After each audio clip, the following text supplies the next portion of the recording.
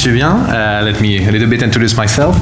Uh, so I've been in mobile since something like 11 years, and I started as a mobile developer. Uh, so I'm a tech guy.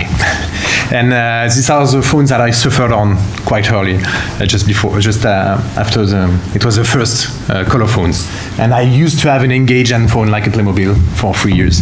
Yes. um, so at that time we were building games. Maybe you heard about Java games a long time earlier. And um, in fact, uh, I had the luck to, to, to, work on apps quite early, as early as 2003, um, because we were using games technology to build apps. Um, it was innovation. And uh, lucky me then, uh, I arrived at Deezer to be the head, head, of mobile and build the product and the team there. Uh, if you don't know Deezer, it's the main competitor of Spotify. And uh, then kind of the same story, building the team and, and the product at Viadeo, which is the main competitor of LinkedIn. And today I'm an independent consultant in mobile strategies, which gives me some time to, to talk to you. um, so why did I came here to talk to you about deep linking, which is a more uh, marketing trending uh, topic currently. Uh, it's because in 2010 at Deezer we had a project called URL Handler, URL Handler, sorry. and um, we didn't have a proper name for that, and this name appeared since. It's deep linking. and I will talk to you about um, how it works and things like that.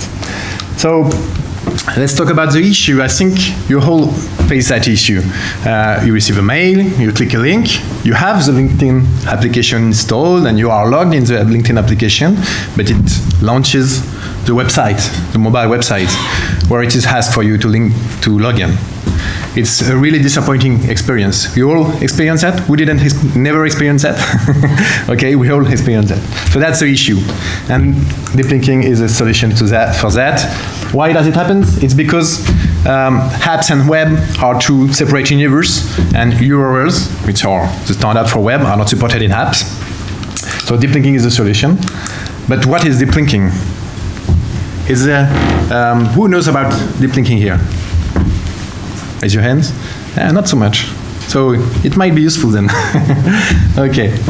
Um, so this is my definition of deep linking. It's quite short. It's a way to open an app directly to a specific section or content, thanks to a link. Quite straightforward, but we'll have some examples. And it is currently trend, trending. Uh, this word, deep linking, the deep linking expression has been mentioned throughout the day because deep linking is a requirement for retargeting. You can't do retargeting on mobile without deep linking. It's a requirement. So that's why it's currently trending because it's a need for retargeting.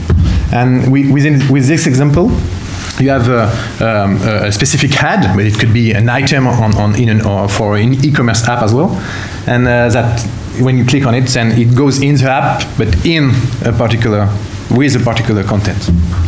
Okay? So, it allows you to uh, do so what, what I call had to app, and of course retargeting. Uh, but that's not, that's not only that. I mean, that's why, why uh, deep, link is, uh, deep linking is currently trending, but you can do much more with that. Uh, so you can imagine SMS to app as well. Let's let's talk about QR code to app or email to app. If you, if you have a newsletter, with deep linking, you can enable the link in, in, in the newsletter to open the app, as with the issues that we've seen earlier. Um, so of course, web to app, and that includes also, um, I think you can do SEO or uh, SEA to app.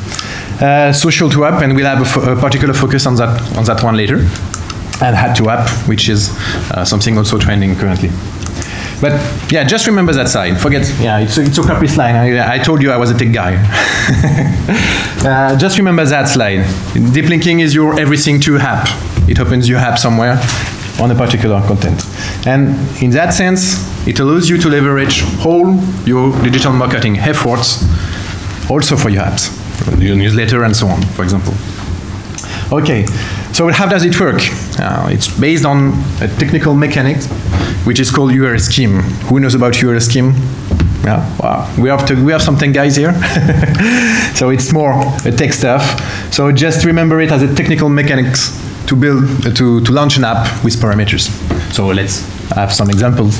Uh, if you if you're uh, um, you can try. You type. You just type fb uh, colon slash slash in your in your browser, and it will open the Facebook application.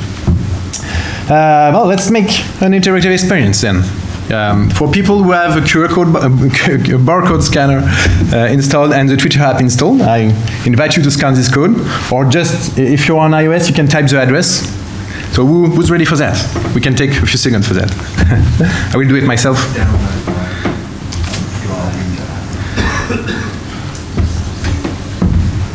Yeah, you can, can use the TV screen in the back.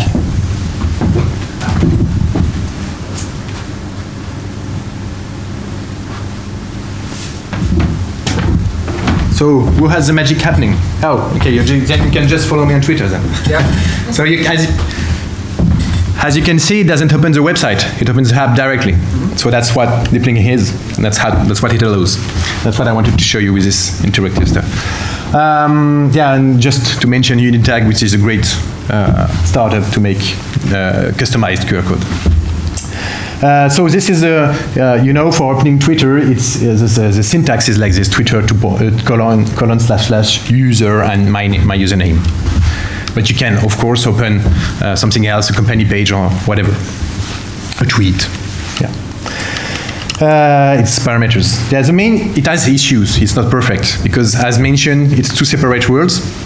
So URL, you have URL don't doesn't don't work with um, with apps, and the main issue with uh, URL scheme is that it doesn't work with web.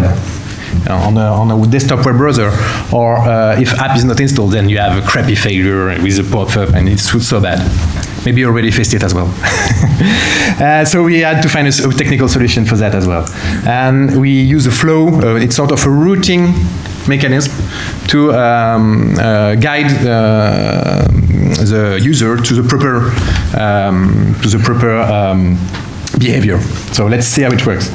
Uh, so for example, the user clicks on, on, on uh, wmydomain.com, so on. It's a web link. We just first analyze the user agent, again, technical stuff, but which allows us to separate mobile and desktop. If it's, if it's not a mobile, if it's just a desktop, then we just let the link proceed. Now if it's a mobile, uh, we check if the app is installed. That might not be possible. It's, it's uh, uh, checking if app is installed is only possible from app to app. It's not possible from uh, mobile web, except with crappy stuff that I will put that I did put later in the slide for you techies. you will have them. Uh, but whatever, we also can have the user. That's what we'll see later. Uh, so if the app is not installed, you just guide the user to the proper uh, app store. Now, if the app is installed, you use URL scheme as seen earlier. On Android, in, on, on Android, you can also use something like called intent filter, but again, it's for your techies. Don't remember that. Just gives give the slide to, to your techies. um, and let's have a little bit uh, uh, a little moment of focus on social to app. Because, why? Because in, in, into, in, in, for, during a few years, Deezer and Spotify were using this as a um, growth hacking uh, technique and it worked. I, I, I, I think they, with regard to something like, at Deezer, there, was, there were about something like 8 million downloads thanks to that. So how, how did it work? Basically, maybe you know a little bit about viral mechanics. It's all about production and consumption. So on one side, features in the product lead users to share content on social media on social networks. On the consumption side, sorry, this, this content, uh, if you consume this content, then it generates either acquisition or retention, and thus more production. So it's a viral, viral loop. Well, when you design such stuff in your product, you just have to remember that it has to have a as a benefit for the user. It's not only oh just that so that we gain some more users. No, um, people share on, on on Deezer or Spotify because they want to show that they are good music lovers, and it's all about self branding as well. Self branding, yeah, self branding. Sorry. Um, so uh, let's get this example of social to app. Let's, for example, the user clicks on a, um, a Twitter, a link, a link Deezer.com on, on, on Twitter.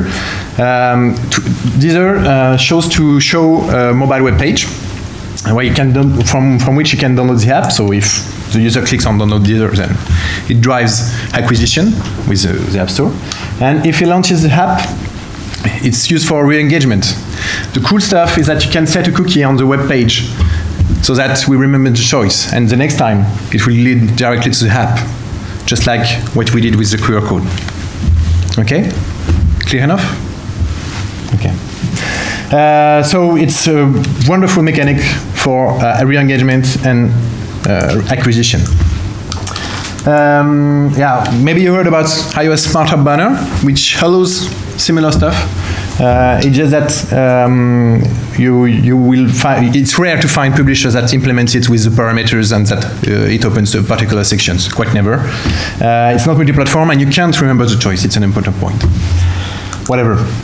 Um, so just some resource uh, regarding deep linking.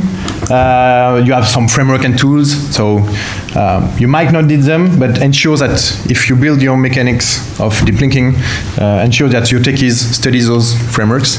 And, um, and we have people from AppsFire here, uh, they are good at that as well. Uh, you maybe you heard about Facebook AppLinks, which is an open initiative of Facebook. So same stuff. I mean, you you have an, uh, a re-engagement ad in the in the Facebook app. You click on it, dedicated section in the app, specific section in the app. Remember that for Facebook or Twitter, it's sort of proprietary mechanism that allows them to provide more uh, richer media uh, within the apps, targeting your uh, application. Uh, well, the documentation links are for techies as well. um, and Google App Indexing, did you know that you can, for Android apps, uh, also let Google index your uh, content? So that's what it allows as well. You can have direct uh, search results um, opening your app directly on particular sections. Um, is it okay? Not too fast? Yeah, quite speedy. okay. Um, and just, yeah, mentioning deferred deep linking, it's another technical stuff. You can read the article, it, uh, just that so that you know the word. Um, it basically, it, it, it, will work also after the install, because in what we've seen earlier, the install sort of uh, interrupts the process. With that, uh, the application will uh, be able, we use that, that uses tracking technology, and instead of tracking, it launches the app in the correct section um, accordingly to the previous ad. Uh, okay, just uh, ensure that you read these articles. So those, those two parts for, for quick save, the problem and the solution, are quite the same that you found on this slide, but it's another view, so I think it's very interesting as well. And the other ones, you will read them if you have time. Yeah, this is your homeworks. uh, and yeah, would, that's where I wanted to come. Some, some recommendations. Okay. it's now.